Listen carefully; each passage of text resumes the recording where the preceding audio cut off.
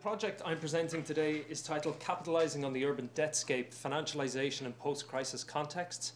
And essentially, I look to understand the changing relationship between the finance and the development sectors and the state in the post crisis context of Ireland and Spain. Uh, so, at the halfway stage, uh, firstly, let me just thank Neil for arranging today's symposium and obviously to the Foundation for funding support over the last year and a half. I'll begin with some uh, introductory comments about the nature of the financial crisis, and then I'll discuss some of the theories and concepts guiding the project. Uh, I'll then discuss uh, research aims and methods before zeroing in on one particular aspect of the empirical findings, which forms the basis of my first paper uh, on real estate investment trusts in Ireland. Uh, and I'll conclude with some um, discussion of, of achievements over the time and some future plans. So, introducing the debtscape. Well, since 2007, we know that finance and real estate have been deeply implicated in driving property market crashes uh, across advanced economies that have led to the longest post war economic recession. Uh, this was triggered by the collapse of the US subprime market, but also rising mortgage default and foreclosure rates across peripheral Europe, uh, which in themselves led into uh, wider systemic banking crises as well as sovereign debt crises. To manage these outcomes, the state itself has become a major finance and development actor, through, for example, uh, uh, bank nationalizations and recapitalizations, the establishment of bad banks to absorb toxic real estate debt, as well as the rollout of new um, financial instruments and technologies and fiscal incentives to the finance and development sectors. For Harvey, the crisis is rooted in the increasingly global nature of real estate investment and the empowerment of finance capital which in themselves have stimulated uh, property bubbles um, by switching capital from the productive economy to uh, speculative investments in real estate. Uh, in this vein, uh, a growing body of work has considered uh, financialization as both a cause and consequence of the crash. And financialization broadly describes how finance and financial markets and actors have come to occupy an increasingly dominant position in contemporary society and examines the processes and effects of the growing power of uh, financial values uh, and, and technologies on states, firms, and households. Much of this literature has examined the impacts of the wall of money that was pumped into global real estate over the last two decades, which, as the graph up top will show you, increased from about $4 trillion globally in 1997 to about $12 trillion by 2007. Now, looking at the impacts of this, uh, this is kind of evident in what Walks has termed the urban debtscape, or the socio-spatial outcomes arising from the breakdown in the circuits that connect global financial markets and local uh, real estate markets, or the built environment. And this debtscape is evident in the avalanche of distressed development assets and debts uh, that have accompanied um, the collapse of property markets, as I said, across advanced economies. But it's also evident in the patterns of mortgage defaults and foreclosures, both across subprime America, as, as you'll see on the, on the, the bottom map, it's just a kind of a, a hotspot map of foreclosures, and across peripheral Europe. Now, the scale of this debtscape is staggering. European banks currently hold about 879 billion euro in non performing loans, the majority of which relate to real estate. Across the US, about 6.2 million homes have been foreclosed upon since 2007, uh, often with these homes being sold back to private equity investors at considerable discounts as they seek to capitalize on the uplift in values. Now, despite the, the, the emergence of all of this work on the causes and consequences of the crash, Aalbers contends that we still knowledge is still underdeveloped regarding the connections between the finance and the real estate sectors and the state.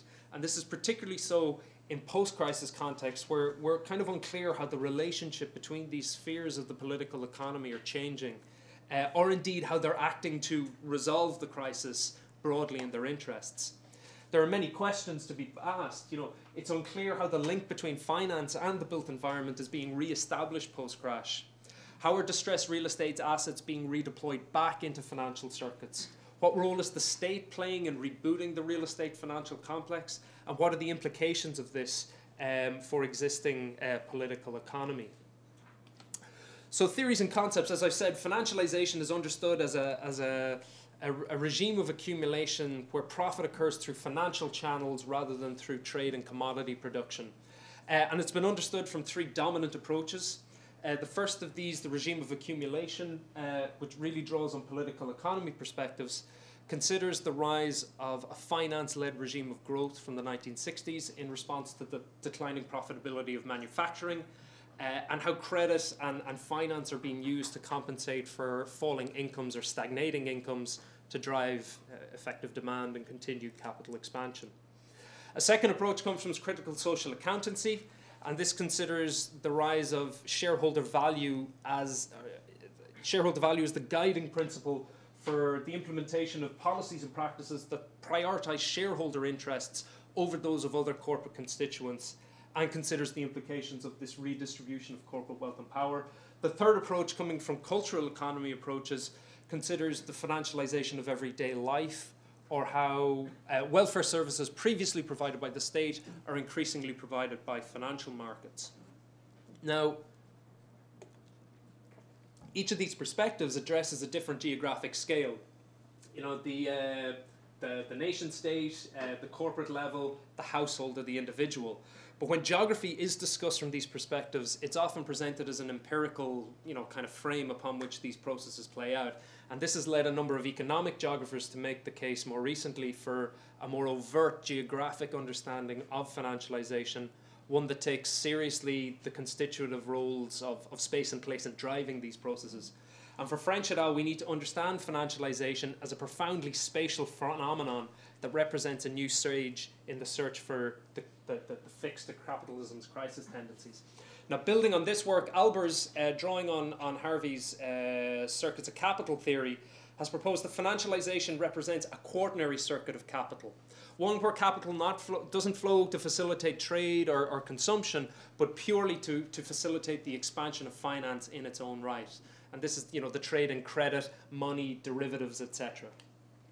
But Aalbers goes further and makes the point that this, that this circuit of, of finance capital that's circling, circling at, at this kind of global level is increasingly tied to investments in the built environment and to capital flowing in, in Harvey's secondary circuit of accumulation. So, so this increasing entanglement between global finance and local real estate has unleashed this kind of pool of, of, of yield seeking uh, financial capital looking for investment in the built environment. And this has occurred through a whole range of innovations, uh, financial innovations and deregulation, but also the, the, the aggregation and sale of very large urban investment portfolios to, to transnational corporations. The creation of new investment techniques like securitization, which funnel or, or, or create credit or funnel credit going into the, into the built environment uh, the expansion of, of, of, financial actors into non-financial markets. For example, private equity firms buying up um, subsidized rental housing in, in New York is, is a good example. Or even uh, non-financial firms and public bodies becoming increasingly embroiled in financial markets. The UK's housing association se sector is a good example here as, as it's increasingly reliant on bond markets rather than, than central government for its funding. As well as new forms of of uh, techno-fiscal urban governance in response to austerity conditions. Now, the financialization literature has not been without criticism. Christophers has, has recently argued that we need to be quite careful in using financialization both as a concept, because, you know, it's limited as a concept, he suggests, in that it repackages existing theories like Harvey's that, that don't require repackaging, uh, and as a process in that it's, it's limited by a whole series of analytic, analytic strategic, and empiric uh, limitations the point that he's getting at is uh, he laments that, that research uh, has thus far you know, examined the effects of finance, i.e., what I've been talking about. This, the, you know, the there's a lot of papers looking at the, the socioeconomic kind of profiles of those that have, have lost their homes, let's say, in the US or, or across the UK. But we still don't really fully understand the operational infrastructures that support financialization in practice. We've rather ignored the study of finance per se and this is picked up on by, by Poovey and Uma as well. They suggest that, like I said, these operational infrastructures that give rise to financialization, uh, the kind of institutional networks, the legal frameworks, econometric modeling approaches, even financial rationales and theories, these tend to be relegated to a black box. And, and if we were to really understand how these processes work, we need to, we need to crack this black box.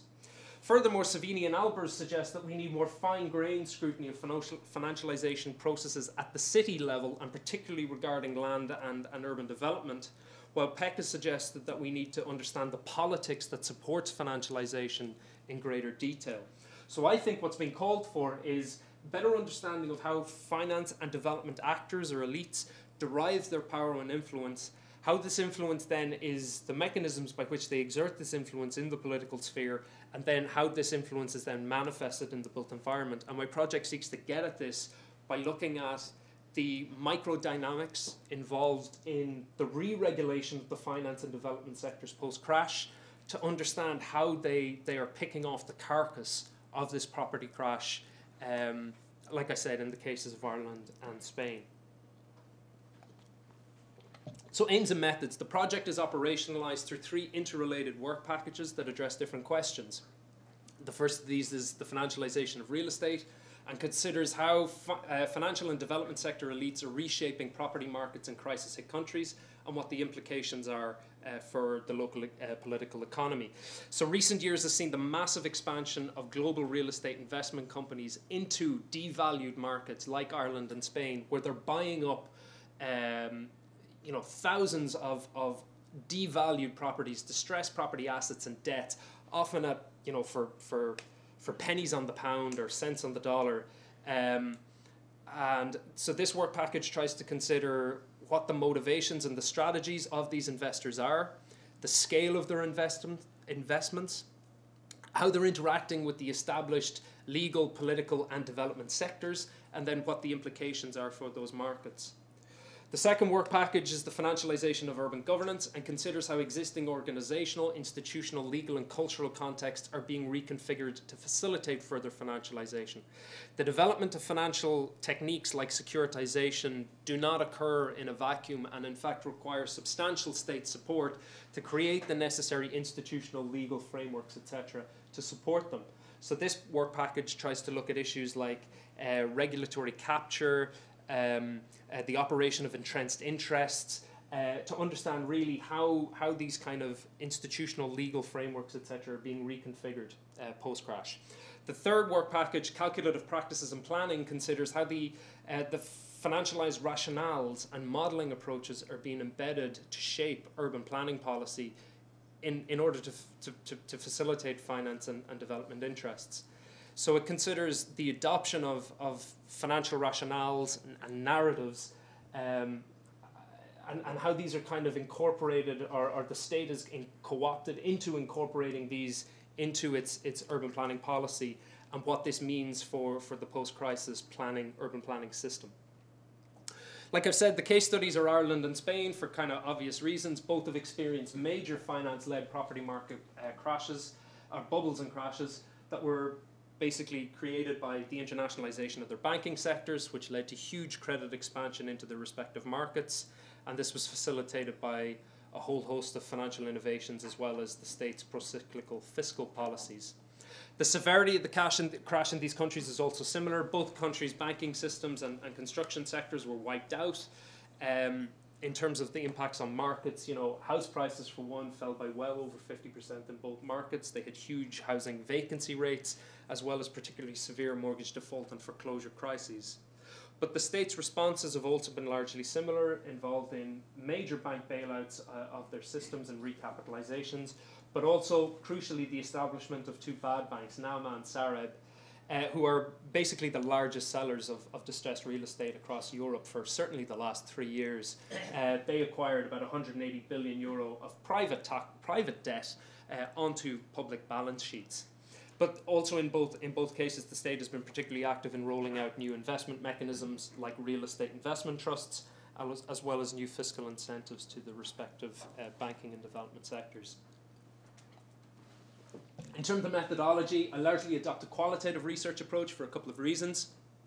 Um, uh, firstly, um, the research questions are, are fairly exploratory in nature, so I think this is better suited to a more qualitative approach, but also getting accurate, disaggregated, quantitative data on the finance and, and real estate sectors, particularly at a city level, is, is really difficult.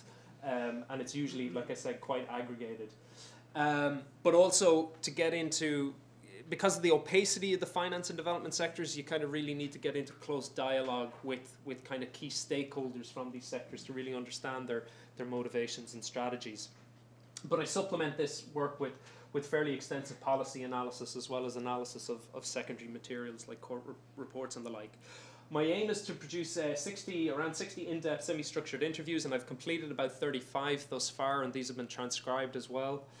Uh, and these have been conducted with members of real estate investment trusts, uh, large developers, uh, agents from the respective, or from the, the bad banks and the banking sector, uh, real estate consultants and lobbyists, as well as people from the financial side, like uh, financial advisors, wealth managers, people from the legal and tax side, as well as policymakers and politicians.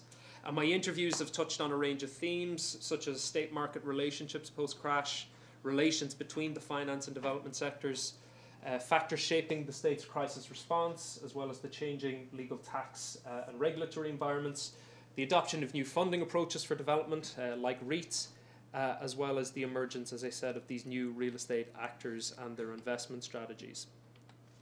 So turning very briefly, this this this uh, part of the empirical results comes from um, what will form the basis for my first paper out of the out of the fellowship work, um, and it looks at the introduction of real estate investment trusts in Ireland as as a means of uh, as part of wider efforts, I suppose, to deleverage the country's kind of failed banking system, but also to attract capital into its property market. Now, REITs are li- they're listed real estate investment companies, which means they they they're listed on stock exchanges. Essentially, what they do is they take a portfolio of property assets, they issue shares on these assets, and then they sell them to uh, global shareholders. Um, like you see, kind of up the top. This is just kind of a working frame for them for, the, for, for explaining the process. Uh, they take the shareholder capital and they acquire more properties or they redevelop the existing buildings that they have and they let these, they let these buildings out to, out to tenants for rents.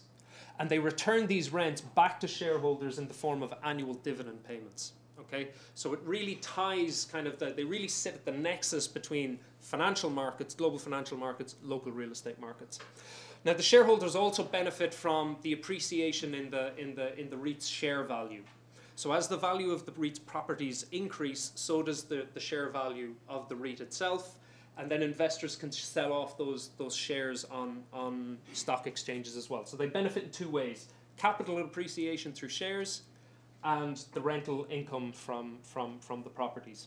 Now, REITs were developed in the US in the 1960s, but it was only following the Asian financial crisis that we saw a massive expansion in REIT regimes when they were set up in places like Japan and Hong Kong. But more recently, there's been a wave of establishing these REIT systems in Europe, and particularly in Ireland and Spain. Now, most REIT research comes from the areas of urban economics or real estate finance and tends to look at issues like investment performance, management efficiency, that kind of thing. But nobody's really looked at how REIT systems come to be formed or, or how geography, history, politics kind of shapes their development. But there's a number of interesting geographic kind of consider you know aspects to REITs. As I've said, they, they spread investor risk over diverse property investments. What they mean is, is that global investors can kind of acquire bite-sized chunks in property all around the world through share ownership without actually having to purchase or having to own the underlying assets themselves. You essentially just own paper shares, you know, based on the underlying value of the property. As I said, they distribute rents back to investors as well, so they kind of strengthen that, that kind of connection, that flow of capital between the, the, the global and the local, the financial and the, and the, and the real estate but they also disembed the process of investment from the procuring of local knowledge necessary to assess risk. So they contribute to the financial fluidity of property, basically. And this is really what REITs do. They overcome the spatial fixity of property by kind of unlocking value in it, by transforming it into a, into a financial commodity, into shares, which are then, as I said, traded by these kind of disconnected investors. Now, understanding the state's kind of setup of REITs in Ireland as I said, the state's primary response to the property crash was to establish NAMA. NAMA acquired 11,000 loans, which were attached to 60,000 properties, uh, with an original value of about 74 billion euro. This was transferred into NAMA for about 32 billion euro. That was the sum. NAMA issued bonds, publicly backed bonds. Um, now, this figure actually represented about 15% more than what the market value of these assets were at the time. So the state was actively trying to enhance property values from the get go in 2009, trying to create an artificial floor under prices. Now, NAMA has taken all of these loans and it's been engaged in very rapid, basically fire sales of these assets. You know, this is taxpayer subsidized fire sales of assets back to major global uh, financial investors, vulture funds, hedge funds, and the like. The devaluation created in Irish property and the concentration of assets in NAMA led to the establishment of what's been called the Irish REITs Forum, which was a, a group of about 11 corporate entities from finance and the real estate sectors that basically lobbied the government into setting up a REIT regime in Ireland. And the, the, the state was kind of happy to do so to enable NAMA to deleverage itself it, of its assets. And it was introduced in the Finance Act in 2013. And it introduced a whole range of fiscal incentives for REITs. They basically pay very little tax kind of on their on, on their assets. And their investors while their investors pay tax on their on the profits they generate from from from the income from rents there's all sorts of workarounds to, to, to minimize those tax exposures. Now three REITs have been established since 2013 Green Hibernia and IRES they've raised about 2.23 billion euro in shareholder capital and debt and they've basically gone out on a spending spree acquiring a whole range of, of assets from NAMA and, and the, the deleveraging banks now, the investors in REITs are not mom and pop investors with 10 or 20 grand looking to kind of supplement their pension. They are major global financial funds. George Soros's fund was an early investor in Hibernia REIT, uh, ran by this man, Kevin Nowlan, uh, one of the founders of the REIT Forum. Uh, Paulson and Co., um, the, the New York based kind of uh, the 19 billion euro hedge fund, were early investors in, in Green in Green REIT as well. And again, they, they're, they're pumping, you're talking tens of millions of euro pumped into, into these companies. And again, they benefit through the capital uplift as the property values of the REITs assets rise, so does, so does the share value of the, of the REITs, in some cases by about 70%. And the investors can then sell these off, you know, like I said, by doing virtually nothing other than owning the shares. Um, they sell these off for a profit, but they also accrue rental dividends, which again, you're talking tens of millions of euro in, in every year. So what have the REITs bought? They've bought about 4.7 million square foot of commercial uh, space, 286 uh, acres of development land, and about 2,500 apartment units. And all of their assets have been largely uh, concentrated uh, in Dublin, in particularly high profile sites like the Dublin Docklands and the St. Stephen's Green area, but also a couple of suburban growth nodes kind of on just in the, the, the, the southern suburbs. Uh, again, much of these assets have come from NAMA and the deleveraging banks at huge debt write-downs.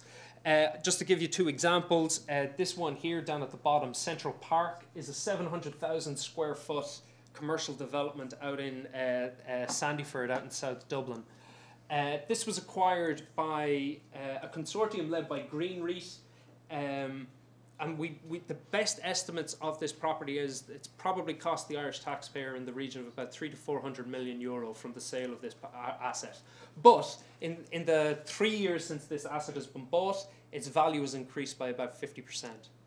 In the case of Carmack Crescent here up in, in, in this was acquired by IRES from NAMA in uh, in 2014 for 9.9 million euro. Two years later, it was valued at 17.9 million euro, an uplift of about 80% in just two years. So not only does this call into question NAMA's sales process and whether it's actually achieving the best possible return for taxpayers, which many people would tell you it is not, but it also highlights how NAMA and the state's complicity in creating these kind of more direct connections between global finance and, and, the, and the property market.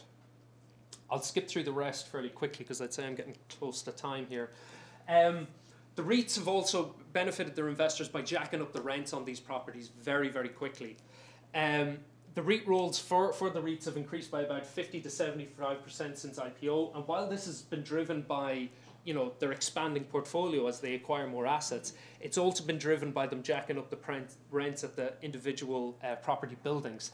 This graph down here is for Hibernia REIT and shows its planned rent reversions at a number of its uh, city centre buildings over the next two years. You're talking rental increases planned of anywhere between 30 and 69% on these buildings, which again, okay, these are commercial buildings, but uh, they're, they're having a massive impact um, an average apartment in Inchicore in the west of the city where IRES invests is probably about 1250 euro. An IRES building in the, in the picture I just showed you on the previous slide, uh, this one here, that's about 1700 euro. So they're actively targeting more middle and higher income households, pushing out lower income households out of this traditionally working class neighborhood. Actually, it's the neighborhood Declan Declan actually lives in. Um, so they're, they're, they're, they're contributing to these kind of economic evictions and also which in themselves are leading to a homelessness crisis. And in Dublin at the minute, we actually have a very serious homelessness crisis. About seven and a half thousand homeless people every night in the city using emergency homeless shelters, about two and a half thousand of them children. So again, the REITs are, are, are redistributing these, these, these kind of rental dividends by jacking up these REITs back to their investors. I'll skip over this slide just to say that the REITs are increasingly getting into the development side of, of, of the game as they try to find new ways to basically sweat the assets to the greatest extent that they have. And again, these, this will be justification for driving up uh, rental growth, as well as uh, an opportunity for replacing less profitable tenants with kind of more blue chip tenants.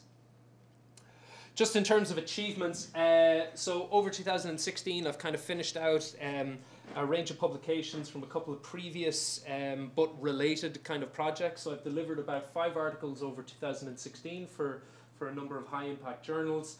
I've expanded my reach net, um, research network dramatically, obviously being involved with Manuel Aalbers' real estate financial complex group in Leuven, but also uh, the Contested Cities group, uh, particularly Mikhail Janoschka and uh, Georgia Alexandri out of, out of Madrid, and we're working on a few bits and pieces together. Um, also, uh, obviously, been uh, kind of with a kind of couple of uh, conference publications outputs again from Contested Cities in Madrid last year, but I'm also involved in RC43 and RC21 this year, this summer. Uh, and I've, uh, I've been awarded some small kind of research dissemination money to kind of supplement my urban studies uh, funding to, to, to help with that. Importantly, myself and Declan have established a very productive, uh, and we see it as a strategic relationship with Dublin City Council's housing department uh, and their new kind of housing research office. Uh, and we're doing a, a, a, lot of analysis on their um, very large scale databases on the, the homelessness uh, and emergency shelter use, which is kind of supplementing uh, some of the work that I've been doing through this fellowship. Most importantly, uh, I've recently been appointed uh, a full time lecturer in housing and re- urban regeneration at Queen's University Belfast. Uh, and this is a post that I'll be taking up in July of this year. So, uh, my, my involvement as a fellow will, will, will, will, will end in June, but obviously I, I'm very keen to stay kind of uh, as part of the network, and I will obviously be looking to produce um, further materials from from the work that I've done thus far. So my immediate aims for the next you know kind of month and a half are to complete out some of the remaining interviews that I'm that I'm going to do. I literally start that again when I when I go back to Dublin tomorrow, uh, and obviously work on some of this kind of DCC Dublin City Council data that we have. Uh, in terms of publications, I have an article on REITs. I've just given you the kind of the very brief kind of overview. That article is pretty much ready to go, and I'm either Geoforum or, or Urban Geography still to be decided. Myself and Declan are working on a submission to a, a special issue for international planning studies on kind of post crisis planning reforms at the minute. While I have two further planned articles that look more in depth at the lobbying activities of the Irish REITs Forum that I mentioned earlier, as well as uh, kind of the, the, the, the reshaping of Irish planning policy post crash under a financialised discourse of, of commercial viability. Um, and like I said, I'm involved in uh, both RC43 and RC21 this summer as well. So thanks very much.